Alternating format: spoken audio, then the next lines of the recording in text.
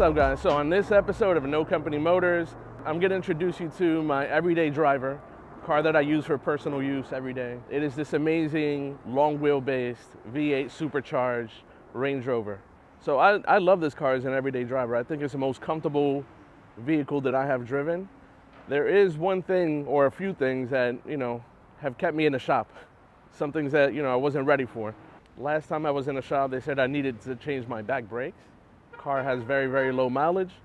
So there was a few things that were surprising to me, and I think it's time that I made a change. First, you'll see the car is beautiful. I mean, the full redesign is, is one of the best redesigns that I've seen so far. This car is fully loaded. It's a P530 long wheelbase. It's an eight cylinder, uh, supercharged. It has a 4.4 liter engine, V8.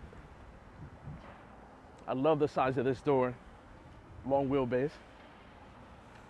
And again, it's just fully loaded. Has a fridge, has TVs in the back for my nieces, and it is a seven seater. It's the first time that Range Rover came out with a seven seater uh, vehicle. It's, it's quite amazing. So guys, I mean, the car is beautiful. It is rare. There's not many of them, you know, in the streets.